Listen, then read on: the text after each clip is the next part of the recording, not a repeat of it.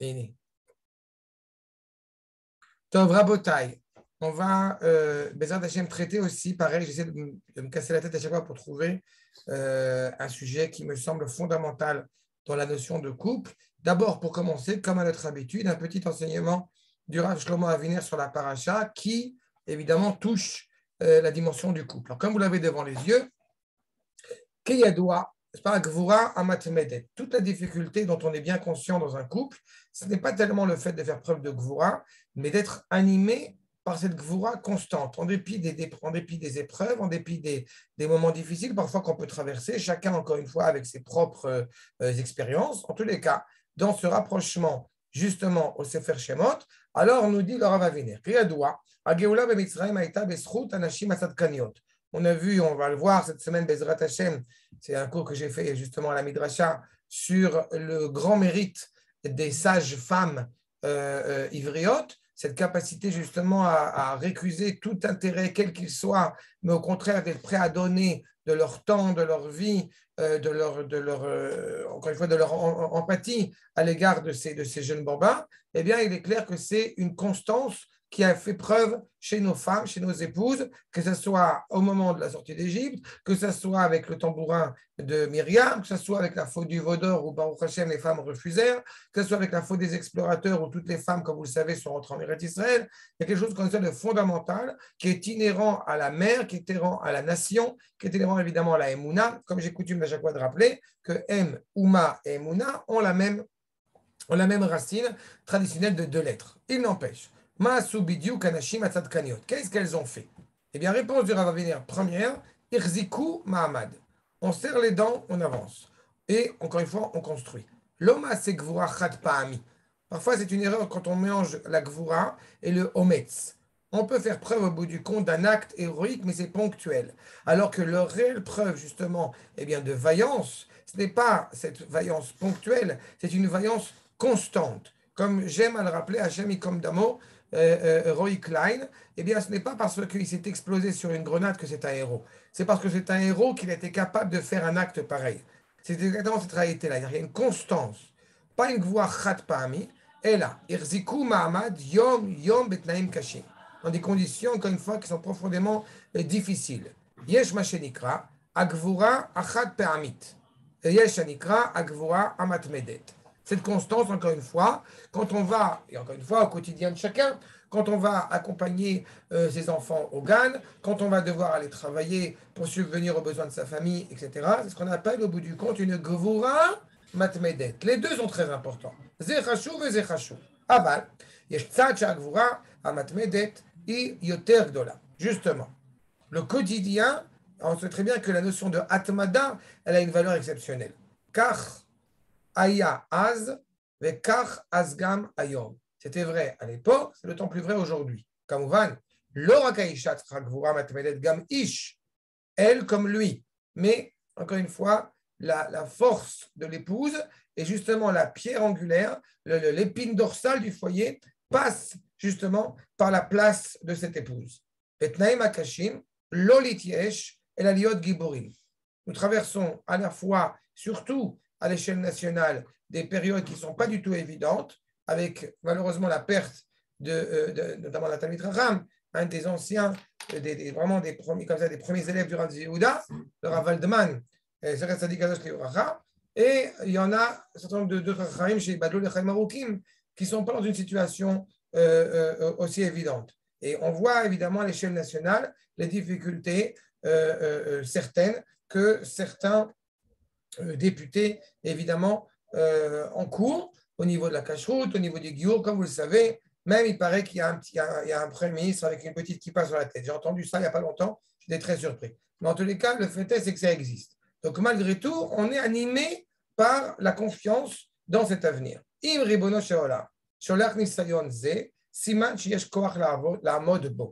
Toute réalité, encore une fois, ne peut pas nous empêcher, à nous, en tant que peuple, de construire. De la même manière qu'au moment de la sortie d'Égypte, alors que tout pouvait indiquer que ce serait impossible, le peuple lui-même était confronté à cette difficulté. Un manque de confiance, encore une fois, en Moshe et en Aaron, et on ne peut pas leur en vouloir, vu euh, le drame dans lequel il se trouvait. Eh bien, malgré tout, il y a toujours, et pour reprendre sur notre propos, j'évoquais les tambourins, il y a toujours justement cette capacité de ces femmes remplies de Emouna qui vont justement eh bien, à contre-courant pour renforcer l'esprit du peuple à l'intérieur, au sein, encore une fois, du foyer. Et la gamme. Donc, non seulement se tenir face, tel un bouclier devant cette épreuve, mais en plus de ça, continuer à s'élever, les se, se, nettoyer toute scorie et se purifier vis-à-vis de ces épreuves que nous pouvons traverser. C'est un petit peu dans cet esprit-là que nous rentrons encore une fois dans le Sefer Shemot, et je pense que quand on est monté en Israël, eh bien, euh, on a toujours une affection un peu particulière pour le Sefer Shemot et tout ce que cela implique, euh, euh, sans faire évidemment de, comparaison entre les chiens et les Égyptiens et les, Arabes, puisqu'évidemment, on a du respect pour les chiens. Alors, en tous les cas, donc nous dit, ça c'est la première partie de notre étude, et nous rentrons, j'ai envie de dire, dans le vif du sujet avec la question de l'argent. Avant de rentrer dans une question qui a été posée au Rav Eliakim Levanon, Shalita, je rappelle, qui, était, qui est le Rav de Elon Moré, euh, qui est aussi le Rosh Shiva de Elon Moré. En tous les cas, avant de rentrer dans cette question, je voudrais juste attirer votre attention sur la question de l'argent de manière générale. Il y a un article exceptionnel de M. Benjamin Gross, dans cet ouvrage Choisir la vie, où il parle justement de la crise financière et des juifs, l'argent et les juifs, et je vous ai livré quelques petites euh, vraiment pépites qui, je pense, vont contribuer à notre réflexion. En tant qu'instrument essentiel des échanges commerciaux, l'argent se présente comme un lieu créateur du lien social. Celui qui aspirerait à une idée au bout du compte, il n'y aurait pas d'échange monnayé entre les hommes, se fout, comme on dit, un doigt dans l'œil. Ce lien commercial, ces réalités, euh, euh, ces hauts et des bas, ces fluctuations, encore une fois, économiques, font partie d'une société qui se construit. Nous n'avons aucune aspiration à vivre et à, être modelé par une dimension, j'ai envie de dire, du kibbutz. Ce que le Rav euh, n'est-ce pas, évoquait euh, il y a plus de 80 ans en parlant de la chute du kibbutz, alors qu'il venait à peine de se construire. On voit bien qu'au bout du compte, ça ne peut pas amener à une situation et une société idéale. À ce titre, il revêt, puisque c'est tel et le souhait d'Akash dans cet échange financier, eh bien, il revêt une dignité particulière et ne peut être considéré comme un objet ordinaire. Ce qui est intéressant, c'est les termes, on ne va pas tous les évoquer, mais c'est intéressant le, sens d'argent, n'est-ce pas, en hébreu. Le terme qui désigne le plus généralement l'argent dans la, Bible, dans le, dans le terrain, est kesef. Cela argent métal et argent monnaie. Même radical que kassof, désiré. Donc le kesef, il est clair que c'est un objet du désir. Il y a toujours une grande euh, boutade, enfin, c'est pas une boutade, c'est une vraie gematria, mais elle est un petit peu marrante. C'est la différence entre matsui et ratsui. Qu'est-ce qui, a, qu'est-ce qui différencie au bout du compte euh, le vouloir du pouvoir, si je puis dire? Eh ben, La réponse, gematria, kesef. Donc il est clair que, encore une fois, euh, comme on dit, l'argent ne fait pas le bonheur, mais il contribue. D'un autre côté, je vous dis clairement que ça coûte très cher d'être pauvre. Donc il y a toujours une ambivalence par rapport à ça. Il ne faut pas chercher à avoir l'appât du gain, mais il est clair que l'argent, encore une fois, est une nécessité pour construire un foyer digne de ce nom. L'argent est le support du désir, non le désir d'un objet défini, mais le désir pur, le désir du désir. C'est là où effectivement il est dangereux. Euh, euh. Euh, L'argent comme kesef, comme désir, nous dévoile qu'il implique non seulement d'un point de vue psychologique, mais comme contenu du pensée, de pensée, une certaine modalité de présence de l'homme au monde.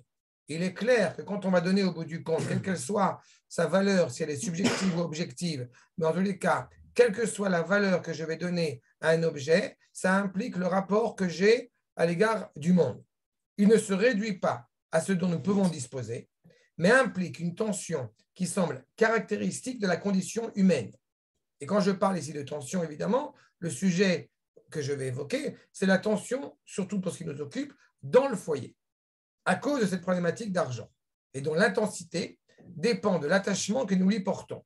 Donc il est évident que partant de ce postulat, plus nous sommes attachés à l'argent, plus cela peut, créer eh un objet de tension. À l'inverse, si on n'a pas d'argent, alors on va créer une autre formulation mais qui restera elle aussi une tension. Pour le judaïsme, la richesse est un bienfait de Dieu et il faut lutter contre l'intolérable pauvreté. L'argent est un instrument du bien.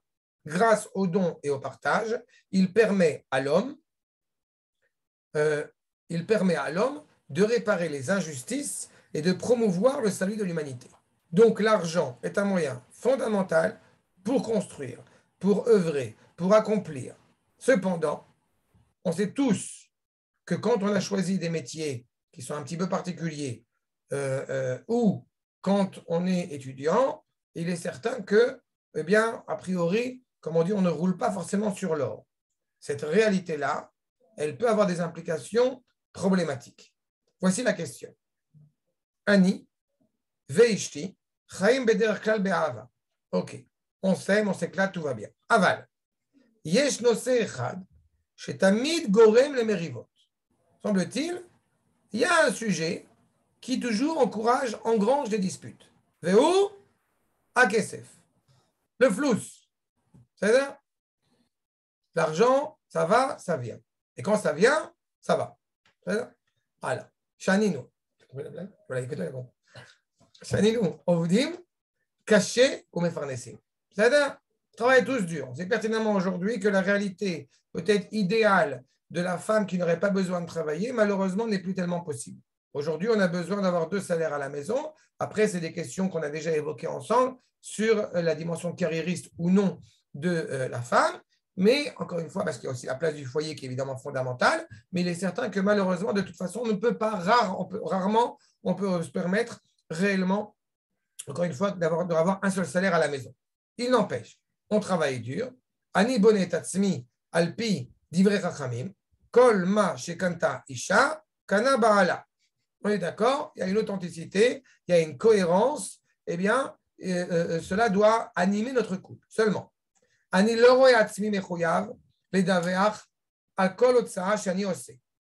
quand vous allez acheter au bout du compte n'importe quoi, eh bien, vous n'éprouvez pas le besoin, enfin, le, ce mari en l'occurrence, n'éprouve pas le besoin de faire un rapport, de se justifier devant son épouse. Cependant, on sent bien déjà l'homme dans toute sa splendeur, mais cependant, j'exige de ma femme, Doresh Mishti, chez Bli Ishur Sheli. Alors, autant moi je peux gaspiller l'argent sans avoir besoin de me justifier, autant si ma femme gaspille cet argent, eh bien, il semble important qu'elle vienne avoir mon accord et ma permission, sinon elle ne peut pas sortir de l'argent. Ça, euh, ça te plaît? Très bien, comme à l'époque. Étrangement, son épouse, eh bien, ça la, ça la blesse profondément, elle se met en colère. A priori, on ne sait pas pourquoi. Vegorem, les brogues. Évidemment, ça crée une tension, une dispute entre nous. Ichlatnu, lishol rav, mitzodek, les Torah. Donc, on veut savoir, selon un Rav, on a décidé ensemble qu'on va demander au bout du compte à un Rav qui a raison. C'est-à-dire, réponse du Rav Eliakim.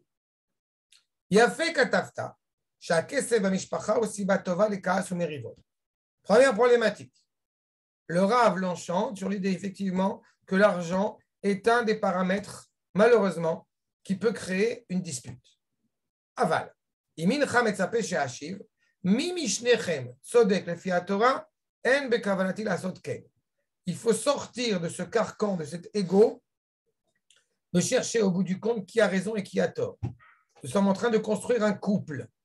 Alors, il y a des questions évidemment qui impliquent la halakha, mais même la manière de gérer le couple, qui est une question de halakha, la question qui va animer le couple, elle ne doit pas être animée par la halakha. L'objectif, encore une fois, n'est pas de savoir si on a raison ou si on a tort. D'abord et avant tout, l'objectif est de savoir dans quel, quel, quel paramètre prend l'argent dans le couple Et deuxième chose, comment est-ce qu'on arrive à gérer cette authenticité du couple pour éviter ces disputes, semble-t-il, inutiles? Ken, euh, Jérémy Shalom Arav. Euh, euh, la question que je voulais poser, c'était par rapport. Là, là vous parlez d'un cas où l'argent en lui-même, en tant que tel, il peut poser problème pour des discussions, on va dire, techniques sur l'argent. Mais quand, par exemple, comme vous avez dit en, préambule, quand des fois il y a une situation globale où le, la situation financière de la famille elle est compliquée. Comment, comment parce qu'en fait c'est pas l'argent le problème, c'est ce que c'est Gorem en fait, c'est-à-dire qu'il y a toute une angoisse autour, ce qui fait qu'après n'importe quelle petite chose dans la maison, elle peut prendre une ampleur et créer euh, des problèmes de shambaït. Euh, pas à cause de l'argent lui-même, mais à cause du fait que ça crée une angoisse. je ne sais pas si vous avez compris ce que, ah je, veux dire là-dessus. C'est exactement le propos.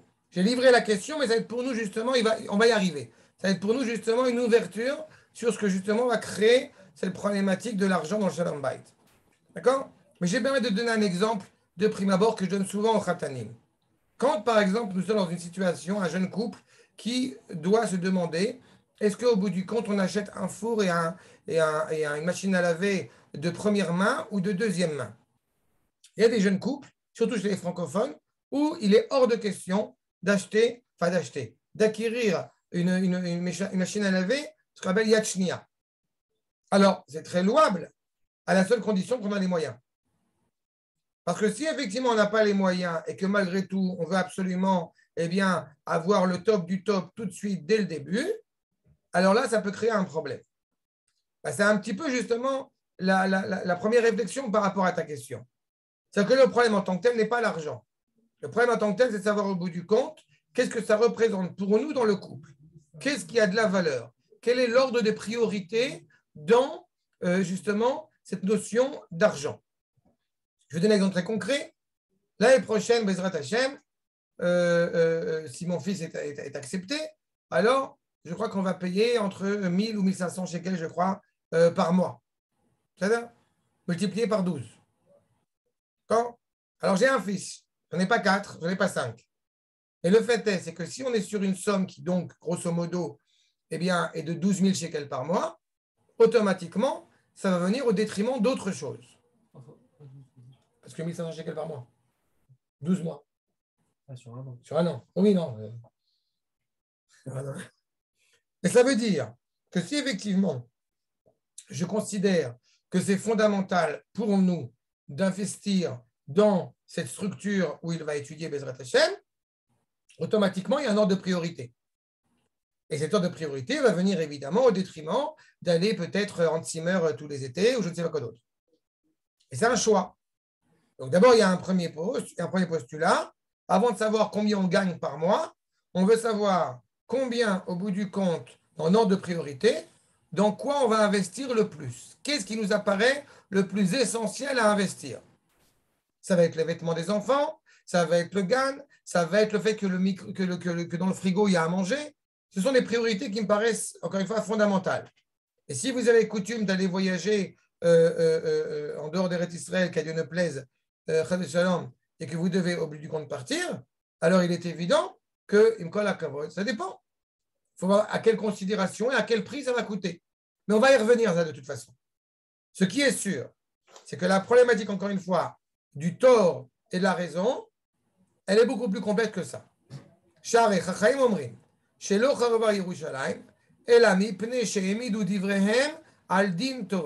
C'est vrai au niveau du peuple, c'est vrai au niveau du couple.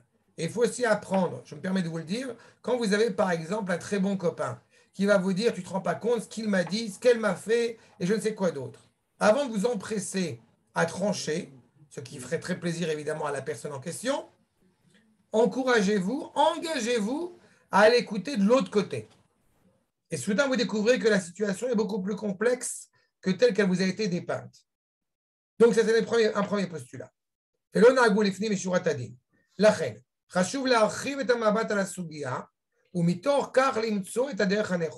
On essaie de regarder pas les couples, pas l'argent de manière générale, mais de voir comment est-ce que ce couple spécifique, il va gérer cette problématique. Avant de parler de problème d'argent, comment est-ce qu'il va gérer cette problématique économique? Keklal, nous dit le Rav. Kesef ou Kli, Matara. On doit s'intégrer, on doit le graver, j'ai envie de dire, dans notre tête que l'argent n'est qu'un ustensile et n'est certainement pas une finalité.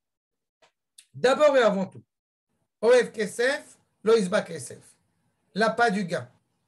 T'as faim, tu auras faim tout le temps.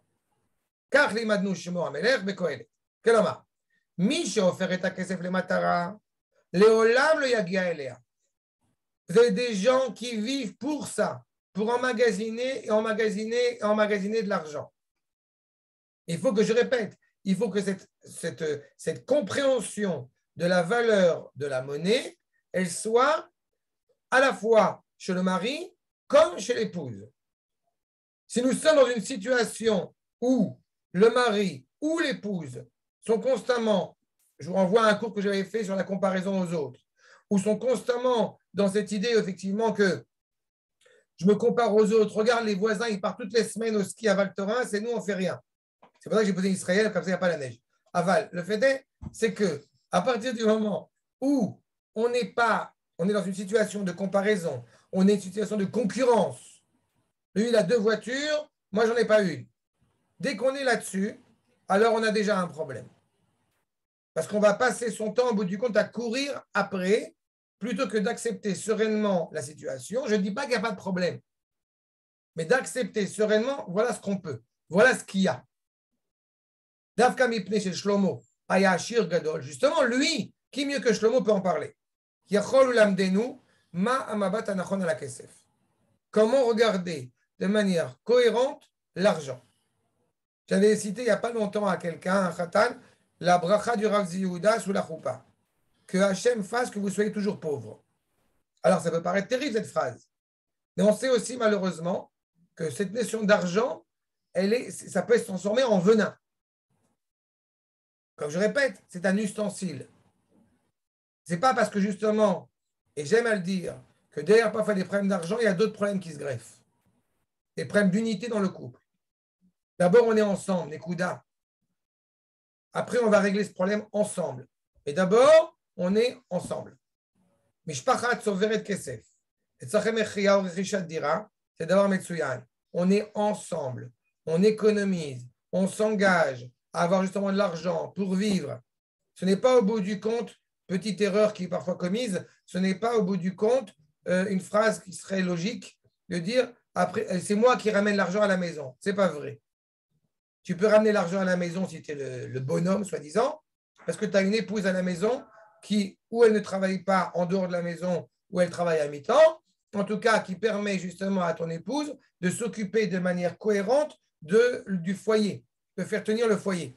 Et ce n'est pas moins important, si c'était même plus important. Donc, il n'y a pas au bout du compte mon argent et ton argent. Il y a notre cagnotte, notre budget. L'utilisation de cet argent doit être dans un terrain, dans un climat de confiance.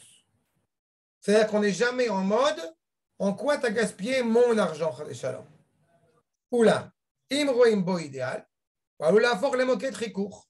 Mais si encore une fois l'argent est ce qu'il y a de plus important, alors automatiquement, eh il peut prendre le dessus sur plein de valeurs.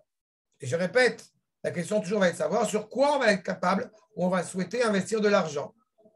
Savez pertinemment que acheter un Sefer Kodesh, par exemple, ça coûte de l'argent. Et si vous avez à peu près une moyenne de 400 shekels de livres par mois ou tous les deux mois, d'accord 400 à 500 shekels de livres tous les deux mois, sans prendre d'exemple au hasard, eh bien, évidemment, c'est un budget. D'accord? Ça. Et j'ai ma femme motoriste. là, mi à la caisse.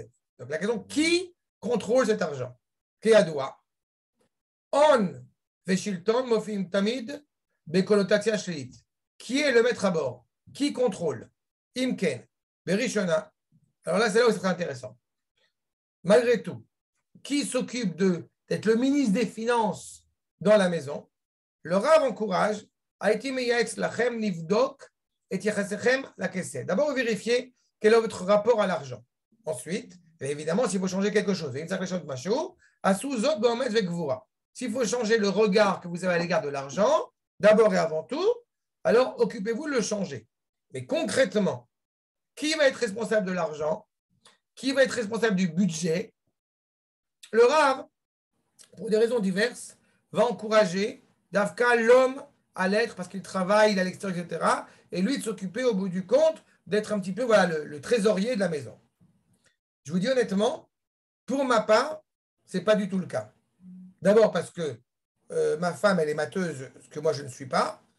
Et ensuite, elle a une capacité justement à mieux gérer cet argent euh, euh, qu'on a ou qu'on n'a pas, d'ailleurs, c'est encore une autre question. Mais le fait est, c'est que je ne sais absolument pas combien je touche par mois. Je ne sais absolument pas combien d'argent on a sur le compte en banque. Je ne sais absolument rien. Je ne sais rien. La seule chose que je sais, c'est quand ma femme me dit il nous manque truc parce qu'il faut qu'on achète les chaussures pour les enfants, il faut payer le stralimout pour machin, il faut truc, etc. Ça, j'ai compris, il faut que j'aille travailler un peu plus, que je trouve une rentrée d'argent d'ici et là. Mais je ne me préoccupe absolument pas du problème d'argent. Et j'ai une confiance, mais vous ne pouvez même pas imaginer, une confiance, je vais dire aveugle, mais une confiance sans borne envers mon épouse qui gère notre budget. Et ça m'arrange jamais eu de me casser la tête. Parce qu'à chaque fois que je parle avec cette administration, je vais me disputer. Donc ça m'énerve. Ça, ça, pas le temps de faire ça. Maintenant, les spécifiques spécifique chez la. Mais kol mishpacha et chalukat tafkidi. C'est à vous de décider au bout du compte qui va être responsable de cette partie-là importante du foyer. Yesh gam gviat gvulot acheriot. Chacun, il a une responsabilité. Comme j'aime à le dire, quand je prépare un khatan, je lui rappelle souvent que la halakha nous dit clairement que les tâches difficiles doivent être gérées par le mari. Pourquoi ce n'est pas plus défini que ça? Parce que c'est très aléatoire en fonction du couple. Il y a des femmes que ça pose aucun problème de sortir la poubelle, ça ne pose aucun problème de s'occuper de l'argent, et des épouses à qui ça peut poser un problème de, euh, comment dirais-je, de de, de, de, de toucher délicatement euh, avec amour vos chaussettes après un mois de Milouim, par exemple. D'accord? C'est pas le un mois de Milouim Jamais fait ça. Ça va venir, ça va venir. Mais en tous les cas, ça peut être quelque chose, voilà, c'est très aléatoire. Mais chacun, au bout du compte, va élaborer sa responsabilité pour le bien du foyer. Quand les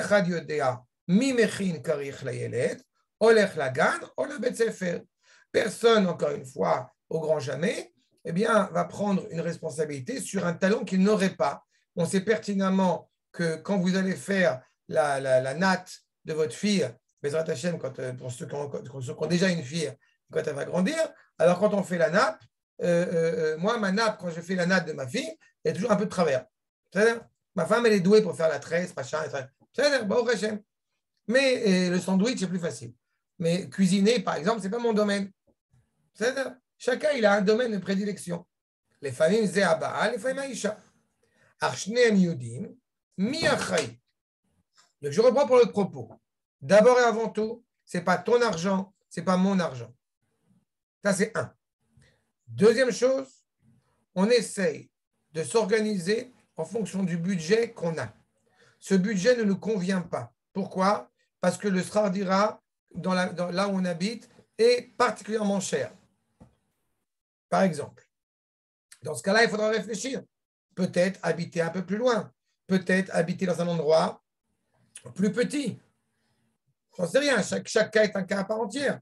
Il est évident que si on décide au bout du compte d'habiter, je ne sais pas, euh, à Tel Aviv, ça peut-être réfléchir si effectivement on n'a pas le choix parce qu'il y a les études, parce qu'il y a le travail, parce que ça implique beaucoup de choses après derrière. Mais on n'est pas forcément euh, euh, tout de suite habité d'Afka, à, je ne sais pas, à Dizengoff.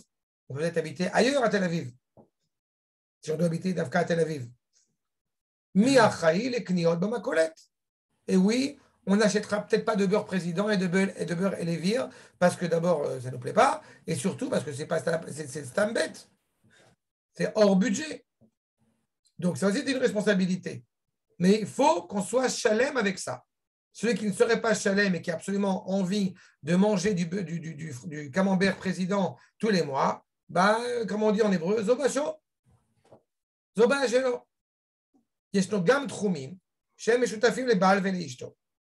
D'accord Des choses qui relèvent pas seulement d'un choix personnel, mais, encore une fois, du rapport à la famille. Par exemple, avec toute la meilleure des volontés. Si au bout du compte, il y a un gars qui est à peu près, euh, euh, qui, est beaucoup moins cher et qui, qui, qui donne des valeurs euh, euh, euh, qu'on veut transmettre à notre enfant, ben, ce n'est pas grave. Ça m'est arrivé que des gens m'ont demandé dans les jeunes couples si c'était bien d'envoyer son enfant dans un gan Chabad. Mes enfants étaient tous en gan Chabad. C'est dire, il a donné nous, c'est vite passé, on passe à autre chose. Ce qui a été important, c'est l'amour de la Torah, c'est l'amour des etc., etc. Et Baruch Hashem, dans le Gan Chabad, ils ont transmis. Entre parenthèses, ma fille, je rappelle que ma fille, du, ma fille au Gan m'a fait beaucoup rire une fois, parce qu'elle a vu la, maison, la, photo, l'image du Rav Kook à la maison. Elle dit ça, c'est le Rav de papa, et ça, c'est le Rav de la Ganénette. Mais les deux sont morts. Donc, quand elle m'a dit ça, j'ai dit, Baruch Hashem. Enfin, le Rav Kook n'est pas mort, d'ailleurs. Ça, c'est une question. Est-ce qu'elle n'était pas sérieuse en classe Il y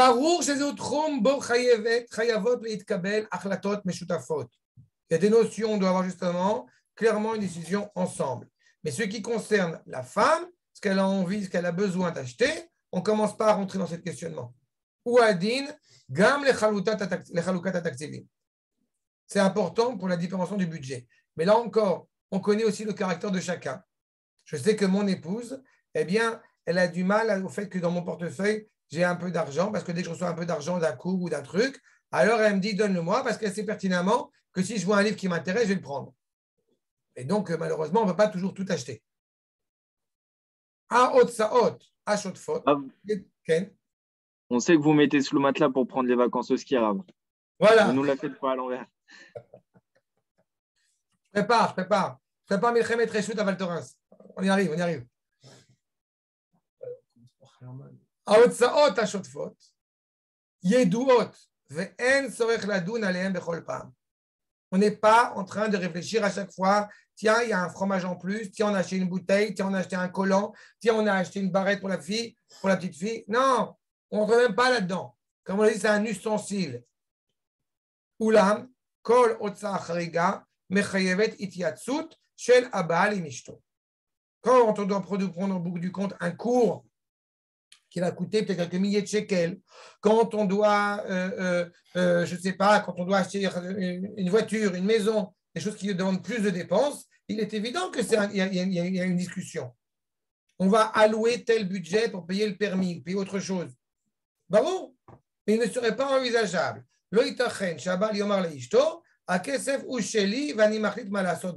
Ça serait absolument abominable. Il ne faut jamais oublier que le couple, c'est 1 plus 1 égale 1. Ce sont les deux facettes d'une même pièce. Et dans le cas où le jeune couple, encore une fois, n'aurait pas ce sentiment-là et aurait le sentiment qu'il habite dans une iska, ce qu'on appelle avec une choutafa, ça serait scandaleux. Et c'est ça qui serait le vrai problème à l'argent. Ce n'est pas le problème de l'argent en tant que tel, c'est le problème de savoir au bout du compte que représente cet argent pour nous. Ce n'est pas cet argent que tu as durement gagné,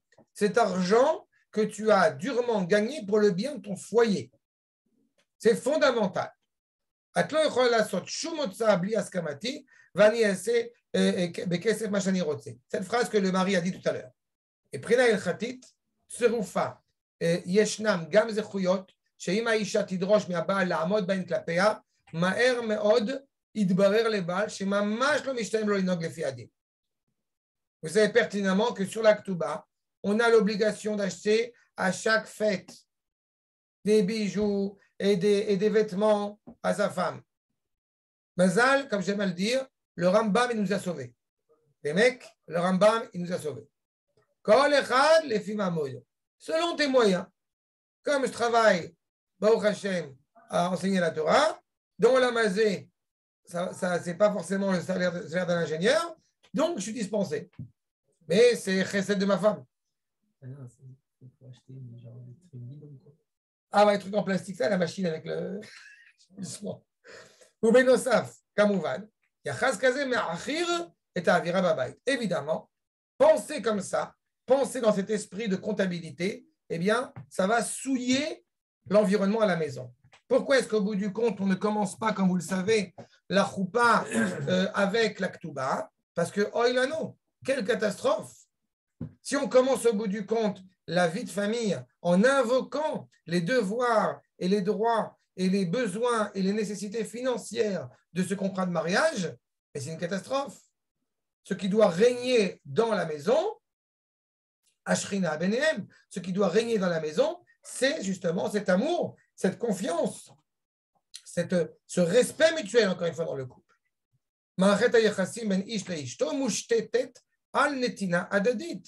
On se donne mutuellement, on se fait plaisir mutuellement. Tiens, j'ai trouvé ce livre et je l'ai acheté, j'ai pensé que ça ferait plaisir. Et j'ai ce privilège que ma femme, plusieurs fois, euh, euh, j'étais intéressé par un livre, elle me dit, euh, je l'ai déjà commandé, je savais que tu le. C'est génial. Et c'est vrai à l'inverse. Aïsh noten leishto, arbe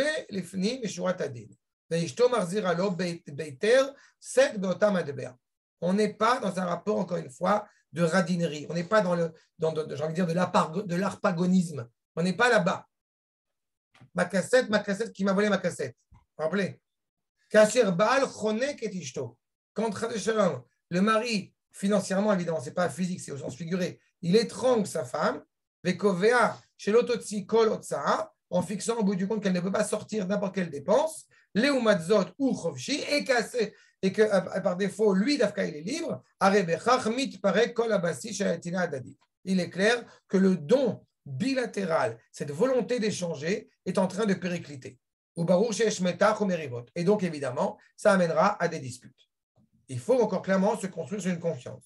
Mais qu'à Dieu préserve, si vous êtes dans une situation où le mari dépenserait sans compter, ou que la femme dépenserait sans compter, alors cela serait malheureusement à l'inverse un manque de compréhension de la valeur du foyer. Et dans ce cas-là, évidemment, il faudrait demander conseil.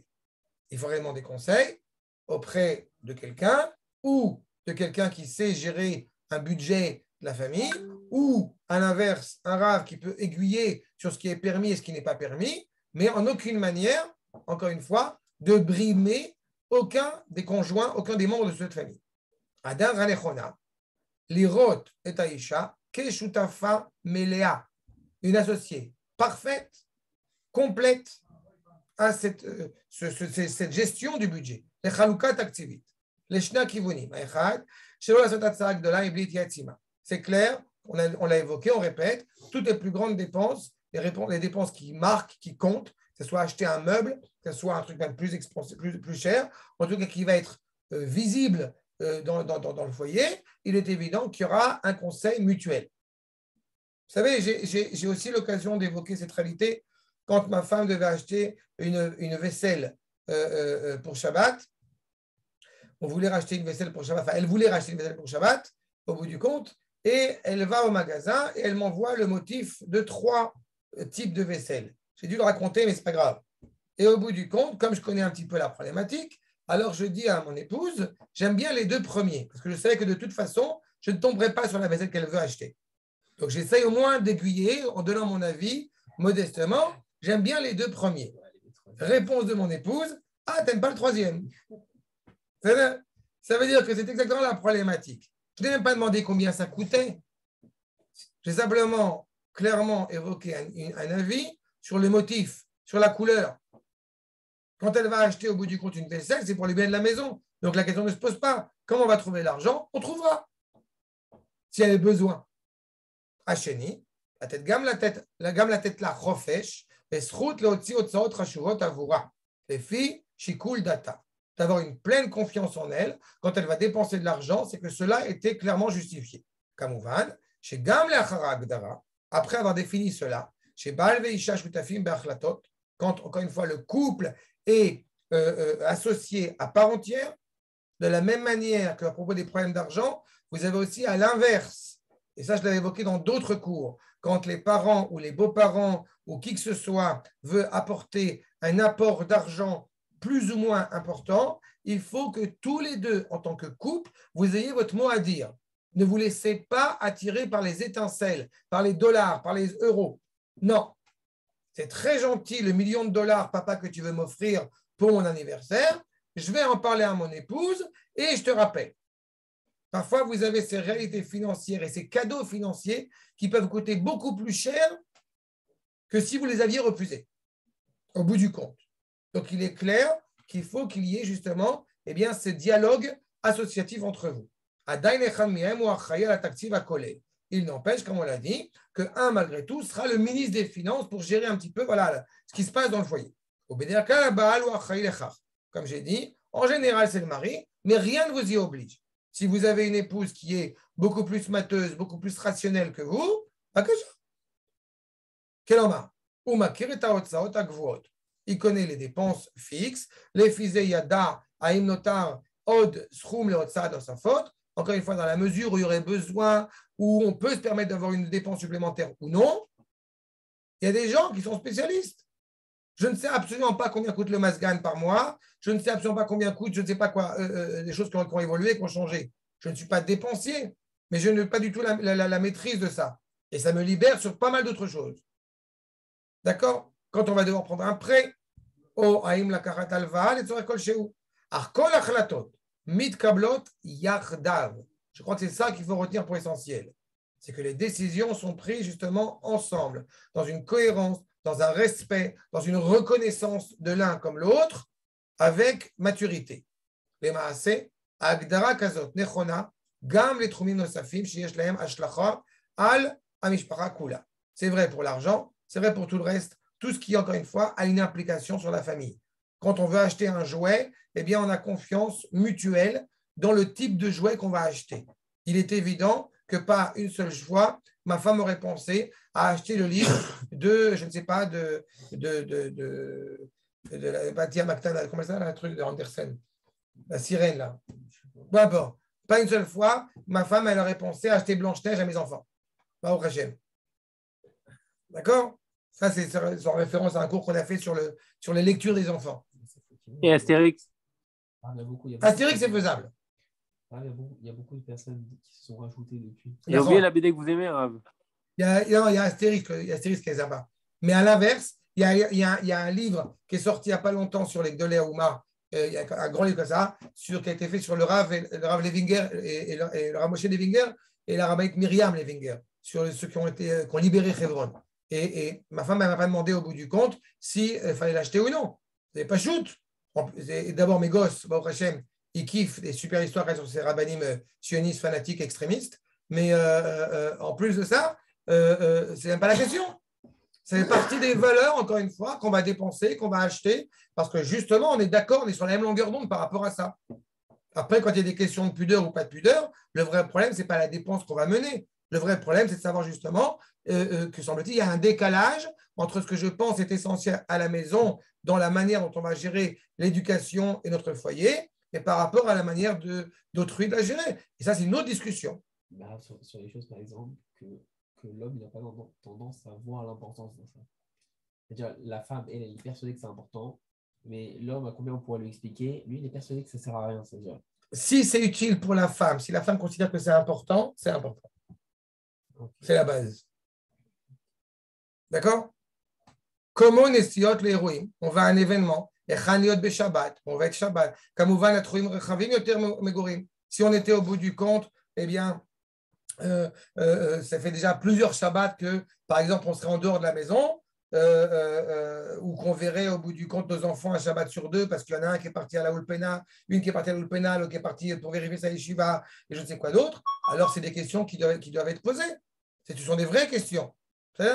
C'est pas comme si, par exemple, on faisait un Shabbat Midrasha, puis un Shabbat à la base militaire, puis un Shabbat à la Yeshiva, puis voilà, c'est compris. c'est bien de passer un Shabbat en famille, tranquillement, sereinement. Mais sans Non. C'est Sefer Akuzari. Betechilat Mamar Shlishi. Comme enseigne le Rav, Rabbi Levi, justement, Chassid ou Amoshel. Ou Mevaer, chez Kol Moshel, Mechuyav, Lidog, les Kol Anshe Medinato, la tête, les